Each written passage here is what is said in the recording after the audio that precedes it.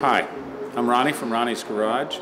We're holding our monthly tech meet at my shop, and we're going to be talking about a Silver Cloud 3 engine and a crack block.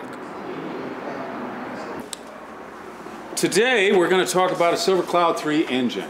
And the car came out of, if you see that blue and silver one just outside the building there, uh, it belongs to a longtime customer and a family. They've owned it 30 plus years.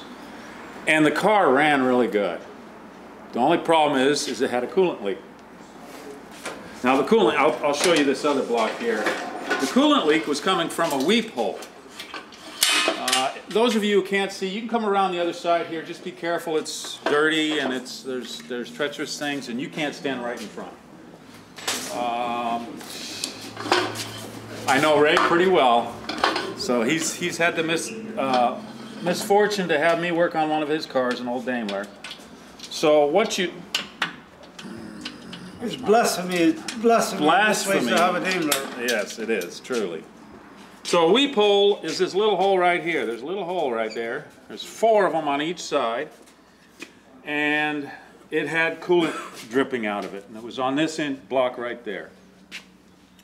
So just so you understand, this is a aluminum block that has cast iron sleeves that go inside of it. Right? You can see right here, sorry if I'm moving too fast, these will slide in there. They're hard to get out when they've been in there a while. And inside there are O-rings. There's a big O-ring up here on the top, small one. There's another one down below, and what that does is seal the coolant in in these passages, okay? And then there's another O-ring down below which seals off the crankcase, which will have some pressure, especially if you have a lot of blow-by. And the idea is, should one of the coolant O-rings fail, water will come out of the engine rather than into the engine to ruin bearings, mix with the oil, turn your oil into like uh, pudding. Uh, so the most common problem with this this type of engine, they've used this engine block since 1959 it first came out, all the way up to the 2000. All the V8s, it's the same basic block. There's different configuration for the clouds and the, and the shadows and on. Uh, but typically these will leak oil. Real common problem. Uh, and th the right way to fix it is to do what you see right here. Take the engine completely apart, pull these sleeves out, put the new O-rings in. But what the normal fix is, if it's only oil, is to plug these holes. So what we'll do is we'll clean them out, we'll put a drive screw or a, a sheet metal screw in there with sealer, and we'll pull off whatever we have to to access them on the car, seal them up, and no more oil leak. Uh, the only danger is if you do have a coolant ring let go, it's going to go in the engine. Uh, but when they leak coolant, you're kind of screwed. Uh, what I have tried and have had minimal success with in the past is to clean out or flush out the cooling system, use a, a chemical block sealant, uh, run it through and follow the directions. This one I was we tried was KW block sealer and I've had luck with it in the past occasionally, but uh, this one didn't do it. You have to clean out this, this system, flush it out three or four times to get all the coolant out, and then you put the sealer in there and run it a whole lot, and then you drain that again, then you leave everything open and let it dry for a few days. And uh, it didn't work on this car. Uh, so, what started out as hopefully a quick fix didn't.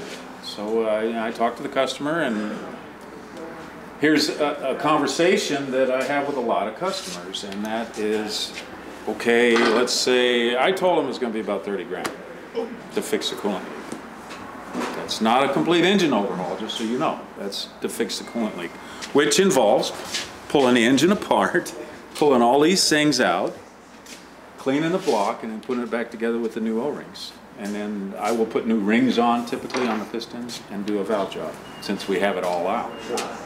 Um, and he said, man, it's a lot of money. Um, what's the car worth? And that car's probably worth 50 grand all day long, at least. Um, so you figure 30,000, oh man, that's a lot of money. And here's where most people get They go beyond sometimes what a car is worth. That's the reason that people will spend more than a car is worth. He goes, well, my dad and I bought that together.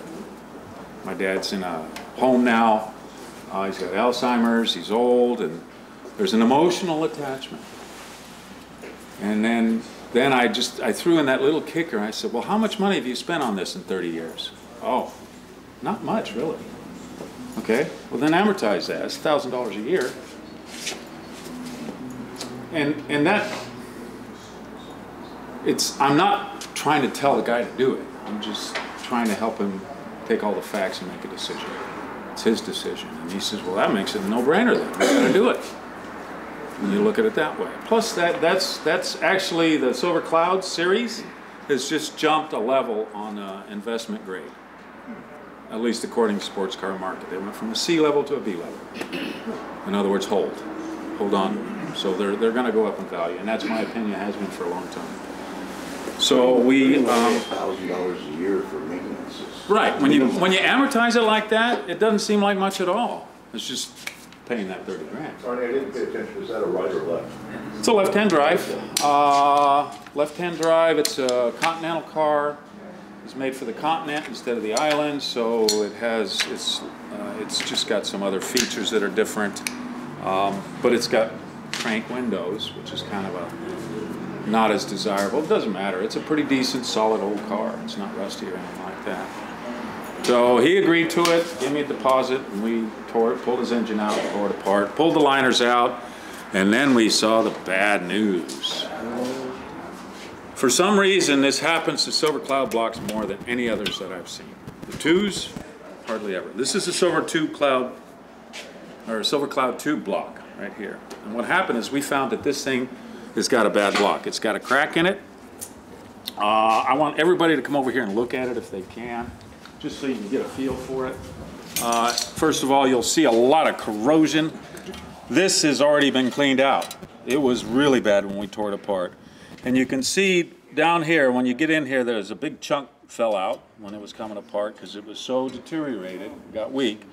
And then when we pull it out of this wash tank over here, which is about 180 degrees, jet washer, it's all nice and clean. You can see every crack. And this had a crack that if you look closely, when you get over here, it extends down beyond the O-rings into, it actually, yeah, if you follow it, it goes down, way down into about this far, about down to that mark. So can you see that, Steve, with the camera? I want people to see on this side. We, we post these on YouTube, Sam knows that. Um, so the crack, if you look at it real close, I don't know if we can do it from this side. Yeah, this is probably the best way. There we go. Um, but it goes down, and when it's hot, that crack went almost all the way down to here. And that's down into the main bearing web. Oh my. Is that it, right, That one? Well, this is the, this, this is where it starts, but it also continues down here, and there's a crack that goes down there. And that's where the coolant was going by. It just didn't want to seal, so a sealer will work on simple stuff. Here, you can use that if you want. Let's do that. Oops. Uh-oh. Uh-oh. That's what I wanted. There you go. I'll let you look at it. I'll talk about it. I'm uh, almost 40 years of mechanic, so I can put my hands in a lot of weird places. Um, So where was I? So bad news. Needs a block. About, I think it was six years ago, I did an engine on a- another Silver Cloud 3 Chinese Eye, and we had a crack block also. Uh, So I called the factory, the dealer, and they called the factory. Just sold the last block. Brand new block. Well, what, what, what did that cost, by the way? Twenty-five grand. Oh. Are they aluminum, Ronny? Yes. And that's basically what you see right here. But I don't think the studs are in. So that's a bear. That's just the